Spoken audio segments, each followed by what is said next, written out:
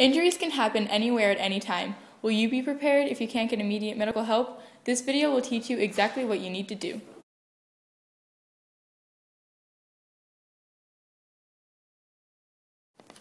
When you have a burn, unless it is minor, you do not put ice directly on it. After being burned, you should immediately try to cool it down with water or a cool rag. The next thing you want to do is cover the burn with a clean cloth of some sort. This protects it from infection. You can tell if a burn is infected when it develops a white yellow, green, or black film over the surface of the burn. It can turn black from dead skin cells. Aloe vera helps cells regenerate and heal faster. So if you have a burn, be sure to cut off a segment from the plant and spread the gel over the burned area.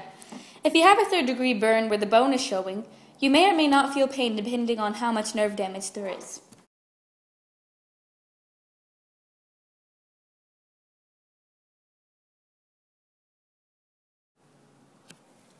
Cuts are a very common injury. When you have a deep cut and it is bleeding profusely, do not put on a tourniquet unless the injury is spreading blood and you're assuming that you're going to die from blood loss.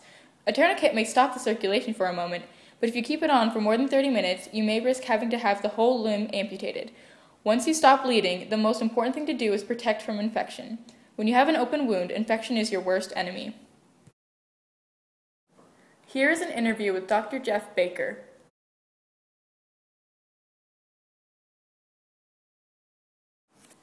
The only two potentially fatal spiders in North America are brown recluses, shown here, and black widows, shown here. The venom of a spider attacks cells and tissue, causing the skin to first turn slightly red, then develop a hard lump under it. It also becomes severely itchy. Pain from the brown recluse bite occurs around 4 to 5 hours later. Nausea, vomiting, fever, and muscle pain can occur after being bitten by either of these spiders. If you suspect you've been bitten by either of these spiders, you should wash the bite site with warm water and soap. You should also apply an ice pack to keep the swelling down. A home remedy for brown recluse bites are nitro patches. The two cheapest methods, a high dose of vitamin C and nitro patches, were the most effective when medically tested. If you have been bitten by a black widow, get medical attention immediately because they are fatal left untreated. There are no effective home remedies for the black widow bites.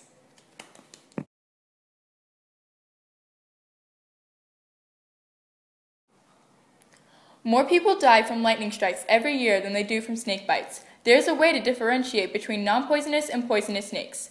Non-poisonous snakes typically have rounded pupils, and poisonous snakes typically have slitted pupils.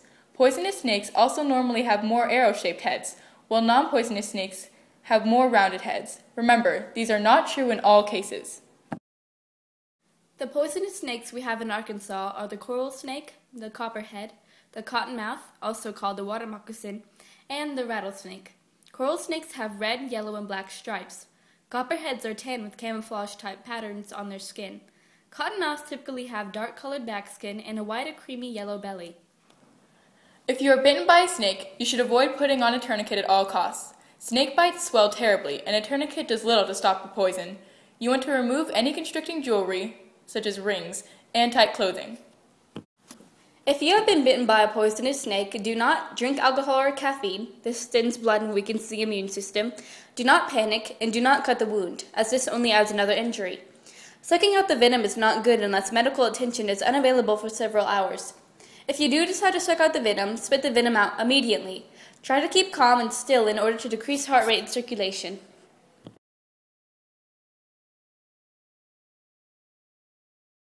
If you break a bone, you can make a splint from a sturdy object, such as a stick, ruler, or even a rolled up newspaper. Slings made from a scarf, a tie, or other material can be used to support the splint. Hold the broken limb above the heart to reduce swelling. Cold surfaces are helpful to the injured area. Resist movement if possible.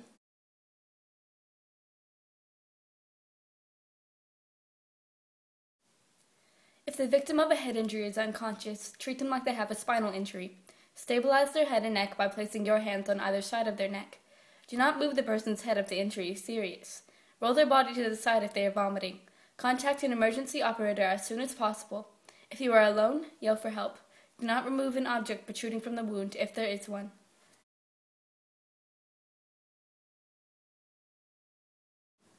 Hypothermia occurs when you lose heat faster than you produce it. You can get it when you go outside in cold weather for long periods of time, or from being cold and wet. It can make you sleepy, confused, and clumsy. You may not realize that you need help because it gradually affects your thinking.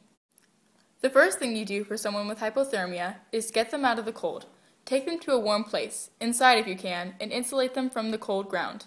Next, if they are wearing wet clothing, you should remove it and apply a warm, dry covering.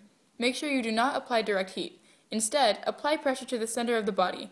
Do not apply heat to the limbs. Make sure you do not give the person alcohol or massage them.